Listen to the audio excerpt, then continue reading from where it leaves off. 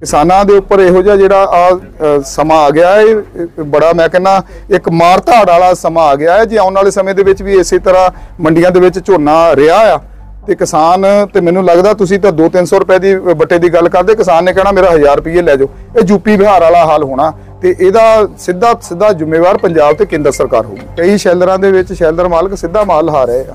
ਉਹਨਾਂ ਦੀਆਂ ਆੜਤਾਂ ਵੀ ਮੰਡੀ ਦੇ ਵਿੱਚ ਆ।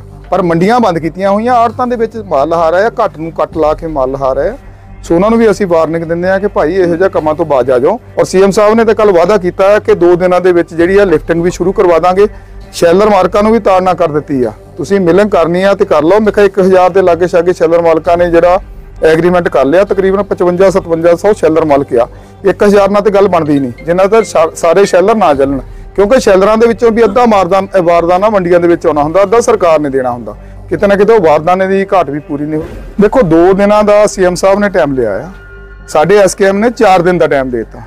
ਕਈ ਵਾਰ ਕੀ ਹੁੰਦਾ ਵੀ 2 ਦਿਨਾਂ ਦੇ ਵਿੱਚ ਸਾਡੀ ਗੱਲ ਬਣੀ ਨਹੀਂ। ਅਸੀਂ ਉਹਨਾਂ ਨੂੰ 4 ਦਿਨ ਦਾ ਟਾਈਮ ਦੇ ਦਿੱਤਾ। ਤੇ ਪੰਜਵੇਂ ਦਿਨ ਜਿਹੜਾ ਐਕਸ਼ਨ ਅਸੀਂ ਕਰਨਾ ਹੈ ਉਹ ਅਸੀਂ ਸਲਾਹ ਕਰ ਲਈ, ਉਹ ਅਸੀਂ ਓਪਨ ਨਹੀਂ ਕਰਾਂਗੇ। ਤਾਂ ਫਿਰ ਪੂਰੇ ਪੰਜਾਬ ਦੇ ਵਿੱਚ ਕਰੜੇ ਰੂਪ ਦੇ ਵਿੱਚ ਅਣਮਿੱਥੇ ਸਮੇਂ ਲਈ ਉਸ ਐਕਸ਼ਨ ਨੂੰ ਲਾਗੂ ਕਰਾਂਗੇ। ਅੱਜ ਦਸੂਆ ਦੀ ਬਾਇਚਕ ਮੰਡੀ ਵਿੱਚ ਪਹੁੰਚੋ, ਕਿਹੋ ਜਿਹੇ ਹਾਲਾਤ ਮੰਡੀ ਦੇਖੋ ਜੀ, ਕਿਸਾਨ ਡਰਿਆ ਪਿਆ ਆ। ਕਿਸਾਨ ਦੀ ਫਸਲ ਖੇਤਾਂ ਦੇ ਵਿੱਚ ਵੀ ਖੜੀ ਆ, ਮੰਡੀਆਂ ਦੇ ਵਿੱਚ ਵੀ ਪਈ ਆ। ਇੱਥੇ ਆ ਕੇ ਦੇਖਿਆ ਤੇ ਆੜਤੀ ਵੀਰ ਵੀ ਇਹ ਗੱਲ ਦੱਸ ਰਿਹਾ ਕਿ ਬਾਰਦਾਨੇ ਦੀ ਕਮੀ ਆ ਬਾਰਦਾਨੇ ਡੀਐਫਐਸਸੀ ਨਾਲ ਹੁਣ ਗੱਲ ਹੋਈ ਆ। ਵੇਅਰ ਹਾਊਸ ਦਾ ਤੇ ਐਫਸੀਆਈ ਨੂੰ ਵੀ ਇਹ ਮੰਡੀ ਅਲਾਟ ਕੀਤੀ ਹੋਈ ਆ ਤੇ ਉਹ ਦੱਸਦੇ ਆ ਵੀ ਹੁਣ ਬਾਰਦਾਨਾ ਸ਼ਾਮ ਤੱਕ ਅਸੀਂ ਭੇਜ ਦਾਂਗੇ। ਸੋ ਆੜਤੀਆਂ ਵੀਰਾਂ ਨੇ ਵੀ ਐਗਰੀ ਕੀਤਾ ਕਿ 17 ਮੋਚਰ ਵਾਲਾ ਅਸੀਂ ਸਾਰਾ ਝੋਨਾ ਭਰ ਦਿਆਂਗੇ, ਜ਼ਿਮੀਂਦਾਰ ਨੂੰ ਖਰਾਬ ਨਹੀਂ ਕਰਾਂਗੇ। ਅਸੀਂ ਤੁਹਾਡੇ ਚੈਨਲ ਦੇ ਜਰੀਏ ਕਿਸਾਨ ਵੀਰਾਂ ਨੂੰ ਵੀ ਬੇਨਤੀ ਕਰਦੇ ਹਾਂ ਕਿ ਇੱਕ ਦੋ ਦਿਨ ਦਾ ਕੋਈ ਫ਼ਰਕ ਨਹੀਂ ਪੈਂਦਾ ਥੋੜੀ ਫਸਲ ਨੂੰ ਸੁਕਾ ਕੇ ਵੱਢਿਆ ਜਾਵੇ। ਕਈ ਮੰਡੀਆਂ ਦੇ ਵਿੱਚ ਘੱਟ ਲੱਗ ਰਿਹਾ। ਕੱਲ ਸਾਡੀ ਸੀਐਮ ਸਾਹਿਬ ਦੇ ਨਾਲ ਮੀਟਿੰਗ ਸੀ ਤਾਂ ਹਰਪਾਲ ਸਿੰਘ ਚੀਮਾ ਨੇ ਉੱਥੇ ਆਪਣੀ ਪ੍ਰੈਸ ਕਾਨਫਰੰਸ ਦੇ ਵਿੱਚ ਵੀ ਕਿਹਾ ਵੀ ਜਿਹੜਾ ਇਹੋ ਜਿਹੀ ਕੱਟ ਲਾਉਣ ਵਾਲੀ ਧਾਂਦਲੀ ਕਰੂਗਾ, ਉਹਨੂੰ ਫਿਰ ਕਰੜੇ ਹੱਥੀ ਲਵਾਂਗੇ। ਸੋ ਅਸੀਂ ਵੀ ਇਹ ਕਹਿੰਦੇ ਆ ਕਿ ਪੰਜਾਬ ਦੇ ਵਿੱਚ ਪੰਜਾਬੀਆਂ ਤੇ ਖਾਸ ਕਰ ਕਿਸਾਨਾਂ ਨੂੰ ਨਾ ਲੁੱਟਿਆ ਜਾਵੇ।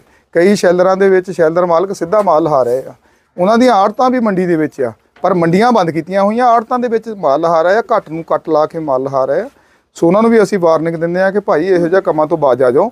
ਜੋ ਸਰਕਾਰ ਚਾਹੁੰਦੀ ਹੈ ਸੀ, ਉਹ ਤੁਸੀਂ ਕਰਨ ਲੱਗ ਪਏ ਆ ਜੇਕਰ ਇਹ ਚੋ ਮੋ- ਮੋਰੀਆਂ ਰਾਹੀਂ ਤੁਸੀਂ ਮਾਲ ਖਰੀਦਣਾ, ਜੇਕਰ ਕੱਟ ਲਾ ਕੇ ਤੁਸੀਂ ਮਾਲ ਖਰੀਦਿਆ, ਫਿਰ ਐਤਕੀ ਨੇ ਤਾਂ ਅਗਲੇ ਸਾਲ ਜਿਹੜੇ ਆੜਤੀਆਂ ਨੂੰ ਖਤਮ ਕਰਨ ਦੀ ਗੱਲ ਕਿਸਾਨ ਨੇ ਆਪਣੇ ਮੂੰਹੋਂ ਆਪ ਕਰਨੀ ਸ਼ੁਰੂ ਕਰ ਦੇਣੀ, ਜੋ ਸਰਕਾਰਾਂ ਚਾਹੁੰਦੀਆਂ ਅਸੀਂ ਨਹੀਂ ਚਾਹੁੰਦੇ ਕਿ ਆੜਤੀਆ ਖਤਮ ਹੋਵੇ। ਅਸੀਂ ਨਹੀਂ ਕਹਿੰਦੇ ਆ ਵੀ ਵਿੱਚ ਸਰਕਾਰ ਤੇ ਕਹਿੰਦੀ ਆ, ਵਿਚੋਲੀ ਆ। ਪਰ ਕਿਸਾਨਾਂ ਦੇ ਤਾਂ ਦਿਨ ਰਾਤ ਕੰਮ ਆਉਂਦਾ ਆੜਤੀਆ ਤੇ ਆੜਤੀਆਂ ਨੂੰ ਵੀ ਚਾਹੀਦਾ ਕਿ ਕਿਸਾਨਾਂ ਨੂੰ ਖਰਾਬ ਨਾ ਕਰਨ। ਤਾਲਮੇਲ ਬਣਾ ਕੇ ਜਿਹੜਾ ਆ, ਇਸ ਸੀਜ਼ਨ ਨੂੰ ਨੇਪਰੇ ਚਾੜਨ, ਕਿਉਂਕਿ ਆਉਣ ਵਾਲਾ ਸਮਾਂ ਚੰਗਾ ਨਹੀਂ ਲੱਗਦਾ, ਸਰਕਾਰ ਦੀ ਮਨਸ਼ਾ ਸਾਫ਼ ਨਹੀਂ ਹੈਗੀ। ਔਰ ਸੀਐਮ ਸਾਹਿਬ ਨੇ ਤਾਂ ਕੱਲ ਵਾਅਦਾ ਕੀਤਾ ਹੈ ਕਿ 2 ਦਿਨਾਂ ਦੇ ਵਿੱਚ ਜਿਹੜੀ ਆ ਲਿਫਟਿੰਗ ਵੀ ਸ਼ੁਰੂ ਕਰਵਾ ਦਾਂਗੇ। ਸ਼ੈਲਰ ਮਾਰਕਾਂ ਨੂੰ ਵੀ ਤਾੜਨਾ ਕਰ ਦਿੱਤੀ ਆ। ਤੁਸੀਂ ਮਿਲਿੰਗ ਕਰਨੀ ਆ ਤੇ ਕਰ ਲਓ। ਮੈਂ ਕਿਹਾ 1000 ਦੇ ਲਾਗੇ ਛਾਗੇ ਸ਼ੈਲਰ ਮਾਲਕਾਂ ਨੇ ਜਿਹੜਾ ਐਗਰੀਮੈਂਟ ਕਰ ਲਿਆ, ਤਕਰੀਬਨ 55 5700 ਸ਼ੈਲਰ ਮਾਲਕ ਆ।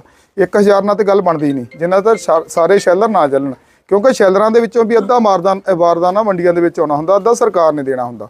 ਕਿਤੇ ਨਾ ਕਿਤੇ ਉਹ ਵਾਰਦਾਨੇ ਦੀ ਘਾਟ ਵੀ ਪੂਰੀ ਨਹੀਂ ਹੋਈ ਤੇ ਉਹਨਾਂ ਨੇ ਵਾਅਦਾ ਵੀ ਕੀਤਾ ਤੇ ਦਾਵਾ ਵੀ ਕੀਤਾ ਕਿ ਦੋ ਦਿਨਾਂ ਦੇ ਵਿੱਚ ਇਹਦਾ ਪੁਖਤਾ ਪ੍ਰਬੰਧ ਅਸੀਂ ਕਰ ਲਾਂਗੇ ਤੇ ਅਸੀਂ ਐਸਕੇਐਮ ਨੇ ਉਹਨਾਂ ਨੂੰ ਅਪੀਲ ਵੀ ਕੀਤੀ ਤੇ ਤਾੜਨਾ ਵੀ ਕੀਤੀ ਆ ਵੀ ਭਾਈ ਦੋ ਨਹੀਂ, ਅਸੀਂ ਤੁਹਾਨੂੰ ਚਾਰ ਦਿਨ ਦੇ ਦਿੰਨੇ ਆ ਪ੍ਰੋਪਰ ਖਰੀਦ ਸ਼ੁਰੂ ਕਰਵਾ ਦਿਓ ਪ੍ਰੋਪਰ ਲਿਫਟਿੰਗ ਸ਼ੁਰੂ ਕਰਵਾ ਦਿਓ, ਨਹੀਂ ਤਾਂ ਪੰਜਵੇਂ ਦਿਨ ਜਿਹੜਾ ਐਸਕੇਐਮ ਜਿਹੜਾ ਪੰਜਾਬ ਹੈ ਉਹ ਵੱਡੀ ਕਾਲ ਦੇ ਕੇ ਫਿਰ ਪੂਰੇ ਤਰੀਕੇ ਨਾਲ ਕੋਈ ਨਾ ਕੋਈ ਜਿਹੜਾ ਤੁਹਾਡਾ ਪ੍ਰਬੰਧ ਕਰੇਗਾ। ਜੇ ਕਿਸਾਨਾਂ ਦੀ ਗੱਲ ਕਰੀਏ ਤੇ ਕਈ ਮੰਡੀਆਂ 'ਚ ਇਹ ਵੀ ਦੇਖਣ ਨੂੰ ਮਿਲ ਰਿਹਾ ਕਿ ਘੱਟ ਦਾਮ ਦੇ ਉੱਤੇ ਜਿਹੜੇ ਆ ਕਿਸਾਨ ਵੇਚੀ ਜਾ ਰਹੇ ਆ ਆਪਣਾ ਝੋਨਾ ਵੇਚਣ ਦੇ ਆ। ਉਹਨੂੰ ਕੀ ਕਹਿਣਾ ਚਾਹੋਗੇ ਦੇਖੋ ਕਿਸਾਨ ਅਸਲ ਅਸਲ ਗੱਲ ਕੀ ਹੈਗਾ ਕਿ 1 ਅਕਤੂਬਰ ਤੋਂ ਝੋਨੇ ਦੀ ਖਰੀਦ ਸ਼ੁਰੂ ਆ। ਸਾਡੇ ਦੁਆਬੇ ਦੇ ਵਿੱਚ ਖਾਸ ਕਰ ਜਿਹੜਾ ਸਾਡਾ ਜ਼ਿਲ੍ਹਾ ਆ, ਇਹਦੇ ਵਿੱਚ ਲੋਕ ਅਗੇਤਾ ਝੋਨਾ ਲਾਉਂਦੇ, ਜਿਸ ਤਰ੍ਹਾਂ ਸੀਐਮ ਸਾਹਿਬ ਨੇ 126 ਵੈਰਾਈਟੀ ਦੀ ਗੱਲ ਕੀਤੀ ਸੀ।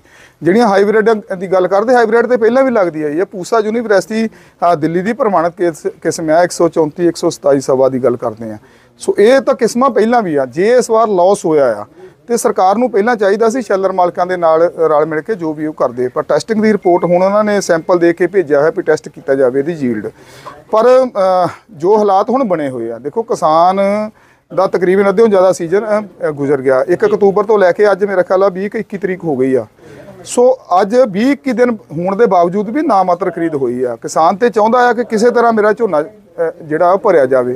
ਫਿਰ ਇੱਥੇ ਜਿਹੜੇ ਧਨਾੜ ਲੋਕ ਆ, ਜਿਹੜੇ ਸ਼ਾਹੂਕਾਰ ਲੋਕ ਆ, ਫਿਰ ਉਸ ਚੀਜ਼ ਦਾ ਫਾਇਦਾ ਉਠਾ ਕੇ ਕਿਸਾਨ ਨੂੰ ਬਲੈਕਮੇਲ ਕਰਕੇ ਉਹਨਾਂ ਤੋਂ ਘੱਟ ਦਾਮ ਤੇ ਝੋਨਾ ਖਰੀਦ ਰਹੇ ਆ ਸੋ ਕੱਲ ਹਰਪਾਲ ਸਿੰਘ ਚੀਮਾ ਨੇ ਆਪਣੀ ਪ੍ਰੈਸ ਕਾਨਫਰੰਸ ਦੇ ਵਿੱਚ ਕਿਹਾ ਆ ਕਿ ਜੇਕਰ ਇਹੋ ਜਿਹੇ ਕੋਈ ਧਾਂਦਲੀ ਵੱਟਾ ਲਾਊਗਾ ਤਾਂ ਉਹਦੇ ਅਸੀਂ ਐਕਸ਼ਨ ਲਵਾਂਗੇ। ਹੁਣ ਦੇਖਦੇ ਆ ਪੰਜਾਬ ਸਰਕਾਰ ਐਕਸ਼ਨ ਲੈਂਦੀ ਆ ਕਿ ਪੰਜਾਬ ਸਰਕਾਰ ਦੀ ਮਿਲੀ ਭੁਗਤ ਜਿਹੜਾ ਇਹ ਕੰਮ ਕਿਸਾਨਾਂ ਨੂੰ ਲੁੱਟਿਆ ਜਾ ਰਿਹਾ, ਆਉਣ ਵਾਲੇ ਦਿਨਾਂ ਦੇ ਵਿੱਚ ਸਾਰਾ ਪ੍ਰੋਪੋਗੰਡਾ ਸਾਹਮਣੇ ਆਊਗਾ। ਤੇ ਦੁਆਬੇ ਦੀ ਗੱਲ ਕਰੀਏ ਤੇ ਦੁਆਬੇ ਦੇ ਬਾਕੀ ਪੰਜਾਬ ਦੇ ਨਾਲੋਂ ਵੱਖਰੇ ਹਾਲਾਤ ਆ। ਕੋਈ ਕਈ ਜਿਹੜੀਆਂ ਕਿਸਮਾਂ ਸਿਰਫ ਦੁਆਬੇ 'ਚ ਪਾਈਆਂ ਜਾਂਦੀਆਂ, ਖਾਸ ਕਰਕੇ ਸਾਡਾ ਹਲਕਾ ਮਕੇਰੀਆਂ ਹੋ ਗਿਆ ਜਾਂ ਇਸ ਦੇ ਨਾਲ ਨਾਲ ਨਾ ਕਈ ਕਿਸਮਾਂ ਇਦਾਂ ਦੀਆਂ ਜਿਹੜੀਆਂ ਸਾਡੇ ਇੱਥੇ ਪਾਈਆਂ ਜਾਂਦੀਆਂ। ਤੇ ਉਹਨਾਂ ਤੋਂ ਵੱਖਰੇ ਜਿਹੜੇ ਹਾਲਾਤ ਆ ਸਾਡੇ ਇਸ ਦੇ। ਉਹਨਾਂ ਨੂੰ ਚੱਕਿਆ ਨਹੀਂ ਜਾ ਰਿਹਾ ਜਿਹੜੇ ਕਈ ਕਿਸਮਾਂ ਉਹਨਾਂ ਦਾ ਹੁਣ ਕਿਵੇਂ ਦੇਖੋਗੇ? ਦੇਖੋ, ਕਿਸਮਾਂ ਤੇ ਕਈ ਸ਼ੈਲਰ ਤੇ ਸਾਡੇ ਟਾਂਡੇ ਉੜਮੁੜ ਦੇ ਵਿੱਚ ਸ਼ੈਲਰ ਮਾਲਕਾਂ ਨੇ ਕਹਿਤਾ, ਸਾਨੂੰ ਕਿਸਮ ਨਾਲ ਕੋਈ ਮਤਲਬ ਨਹੀਂ, ਸਾਨੂੰ ਮੌਚਰ ਪੂਰਾ ਦੇ ਦਿਓ, ਪੱਖਾ ਪੂਰਾ ਲਾ ਕੇ ਦੇ ਦਿਓ, ਸਾਫ਼ ਸੁਥਰਾ ਮਾਲ ਦੇ ਦਿਓ, ਅਸੀਂ ਐਗਰੀ ਕਰਦੇ ਹਾਂ। ਜੋ ਸਰਕਾਰ ਦਾ ਉਹ ਤੋਂ ਹੁਕਮ ਆਊਗਾ, ਅਸੀਂ ਉਹਨੂੰ ਫਿਰ ਮੰਨ ਲਾਂਗੇ। ਜੇ ਕੋਈ ਸਾਨੂੰ ਉਹਦੇ ਵਿੱਚ ਬੋਨਸ ਦੇਣਾ ਹੋਊਗਾ ਜਾਂ ਕੋਈ ਸਾਡੇ ਨਾਲ ਸੈਟਿੰਗ ਕਰਨੀ ਹੋ ਕਰ ਲਾਂਗੇ। ਆਪਾਂ ਜ਼ਿਮੀਦਾਰ ਨੂੰ ਖਰਾਬ ਨਾ ਕਰੀਏ। ਦੇਖੋ, ਕਿਸਮਾਂ ਤਾਂ ਪਹਿਲਾਂ ਵੀ ਲੱਗਦੀਆਂ, ਖਾਸ ਕਰ ਦੁਆਬੇ ਦੇ ਵਿੱਚ ਨਹੀਂ, ਇਹ ਤਾਂ ਸਾਰੇ ਮਾਝੇ ਦੇ ਵਿੱਚ ਵੀ ਲੱਗਦੀਆਂ ਕਿਸਮਾਂ, ਕਿਉਂਕਿ ਉੱਧਰ ਵੀ ਮਟਰ ਦੀ ਖੇਤੀ ਹੁੰਦੀ ਆ। ਮਾਲਵੇ ਦੇ ਵਿੱਚ ਹਾਲਤ ਫ- ਫ਼ਰਕ ਆ। 144 ਪੂਸਾ ਪਹਿਲਾਂ ਲਾਉਂਦੇ ਸੀਗੇ। ਬੰਦ ਕਿਹਨੇ ਕਰਵਾਈ? ਸਰਕਾਰ ਨੇ ਕਰਵਾਈ। ਸਰਕਾਰ ਦੇ ਮਨਸ਼ਾ ਇਹ ਸੀ ਕਿ ਸ਼ਾਰਟ ਟਰਮ ਵੈਰਾਈਟੀਆਂ ਜਿਹੜੀਆਂ ਤੁਸੀਂ ਲਾਓ, ਜਿਹੜੀਆਂ ਉਹ ਆਪਾਂ ਲਾਈਆਂ ਸੋ ਉਹਦੇ ਉੱਤੇ ਕਿੰਤੂ ਪਰੰਤੂ ਹੋ ਗਿਆ। ਪਾਣੀ ਬਚਾਉਣ ਦੀ ਗੱਲ ਹੈ ਜੇ ਕੋਈ ਫ਼ਰਕ ਪੈਂਦਾ ਪੰਜਾਬ ਸਰਕਾਰ ਉਹਦਾ ਡਿਫਰੈਂਸ ਆਪਣੇ ਕੋਲੋਂ ਦੇ ਕੇ ਜਿਹੜਾ ਆ ਪੰਜਾਬ ਦੇ ਪਾਣੀ ਨੂੰ ਬਚਾਉਣ ਦੀ ਗੱਲ ਕਰੇ ਪੰਜਾਬ ਦੀ ਖੇਤੀ ਨੂੰ ਬਚਾਉਣ ਦੀ ਗੱਲ ਕਰੇ। ਕਿਸਾਨਾਂ ਦੇ ਉੱਪਰ ਇਹੋ ਜਿਹਾ ਜਿਹੜਾ ਆ ਸਮਾਂ ਆ ਗਿਆ ਹੈ, ਇਹ ਬੜਾ ਮੈਂ ਕਹਿੰਦਾ ਇੱਕ ਮਾਰ ਧਾੜ ਵਾਲਾ ਸਮਾਂ ਆ ਗਿਆ ਹੈ। ਜੇ ਆਉਣ ਵਾਲੇ ਸਮੇਂ ਦੇ ਵਿੱਚ ਵੀ ਇਸੇ ਤਰ੍ਹਾਂ ਮੰਡੀਆਂ ਦੇ ਵਿੱਚ ਝੋਨਾ ਰਿਹਾ ਆ ਤੇ ਕਿਸਾਨ ਤੇ ਮੈਨੂੰ ਲੱਗਦਾ ਤੁਸੀਂ ਤਾਂ 2-300 ਰੁਪਏ ਦੀ ਬੱਟੇ ਦੀ ਗੱਲ ਕਰਦੇ ਕਿਸਾਨ ਨੇ ਕਹਿਣਾ ਮੇਰਾ 1000 ਰੁਪਏ ਲੈ ਜਾਓ। ਇਹ ਯੂਪੀ ਬਿਹਾਰ ਵਾਲਾ ਹਾਲ ਹੋਣਾ ਤੇ ਇਹਦਾ ਸਿੱਧਾ ਸਿੱਧਾ ਜ਼ਿੰਮੇਵਾਰ ਪੰਜਾਬ ਤੇ ਕੇਂਦਰ ਸਰਕਾਰ ਹੋਊਗੀ। ਜੀ ਸਾਹਿਬ ਨਹੀਂ ਕੋਈ ਕਾਰਵਾਈ ਕਰਦੇ ਤੁਹਾਡੀ ਅਗਲੀ ਕਾਰਵਾਈ? ਦੇਖੋ 2 ਦਿਨਾਂ ਦਾ ਸੀਐਮ ਸਾਹਿਬ ਨੇ ਟਾਈਮ ਲਿਆ ਆ। ਸਾਡੇ ਐਸਕੇਐਮ ਨੇ 4 ਦਿਨ ਦਾ ਟਾਈਮ ਦਿੱਤਾ। ਕਈ ਵਾਰ ਕੀ ਹੁੰਦਾ ਵੀ 2 ਦਿਨਾਂ ਦੇ ਵਿੱਚ ਸਾਡੀ ਗੱਲ ਬਣੀ ਨਹੀਂ। ਅਸੀਂ ਉਹਨਾਂ ਨੂੰ 4 ਦਿਨ ਦਾ ਟਾਈਮ ਦਿੱਤਾ। ਤੇ ਪੰਜਵੇਂ ਦਿਨ ਜਿਹੜਾ ਐਕਸ਼ਨ ਅਸੀਂ ਕਰਨਾ ਹੈ ਉਹ ਅਸੀਂ ਸਲਾਹ ਕਰ ਲਈ, ਉਹ ਅਸੀਂ ਓਪਨ ਨਹੀਂ ਕਰਾਂਗੇ। ਤਾਂ ਫਿਰ ਪੂਰੇ ਪੰਜਾਬ ਦੇ ਵਿੱਚ, ਕਰੜੇ ਰੂਪ ਦੇ ਵਿੱਚ ਅਣਮਿੱਥੇ ਸਮੇਂ ਲਈ ਉਸ ਐਕਸ਼ਨ ਨੂੰ ਲਾਗੂ ਕਰਾਂਗੇ। ਠੀਕ।